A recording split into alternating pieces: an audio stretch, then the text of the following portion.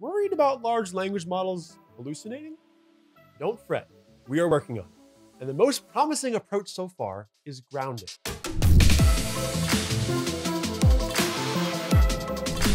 Grounding is the process of connecting a large language model's answers to correct, up-to-date information. A detailed contextual prompt can serve as a reference point or touchstone for the model, guiding it towards better factual performance and reducing the likelihood of errors, also known as hallucination. Let's say you're trying to create a new recipe, something outside of the box. Well, you could ask ChatGPT a simple request. Give me an interesting recipe.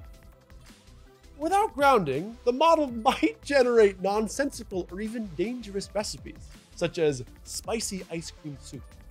However, if you were to send the same request but also include a couple of your favorite recipes in the prompt, the model can generate realistic and creative new recipes aligned with your preferences.